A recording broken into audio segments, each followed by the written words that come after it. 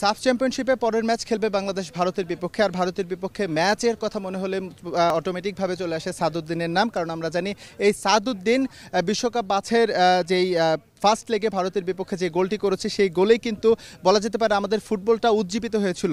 তো আমরা পেয়েছি আজকে সাদুদ্দিনকে সাদুদ্দিনের সঙ্গে কথা বলব সাফ চ্যাম্পিয়নশিপে ভারতের এগেনস্টে নেক্সট নেক্সট ম্যাচ নিয়ে। সাদ, নিশ্চয়ই সেই গোলটির কথা মনে আছে। সব কিছু মিলে আবারও লক্ষ্য থাকবে কি? আমরা লাস্ট যেটা ইন্ডিয়ার সাথে ম্যাচ খেলছিলাম ওয়ার্ল্ড কাপ কোয়ালিফায়ার অনেক ভালো ছিল আমাদের। তো এখন সাফ চ্যাম্পিয়নশিপ গেম তো আমরা চেষ্টা করব সবাই ভালো করতে। আর অফকোর্স যদি অপরচুনিটি পাই গোল করার চেষ্টা করব।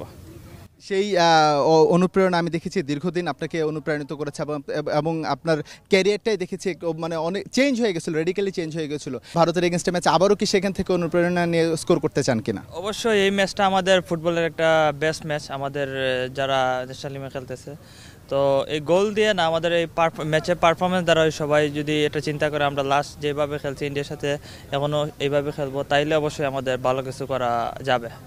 দল হিসেবে এই মুহূর্তে ইন্ডিয়া আসলে কতটা শক্তিশালী বাংলাদেশের তুলনায়? এই টিম টুর্নামেন্টের ফেভারিট টিম ইন্ডিয়া শক্তিশালী টিম তো আমরা চেষ্টা করব ইন্ডিয়ার দুর্বল সাইডগুলা আমরা অ্যাটাক করতে আর অফকোর্স আমাদের ডিফেন্ডিংটা ভালো করতে হবে। ইন্ডিয়ার দুর্বল সাইড কি মনে হয় আপনার কাছে?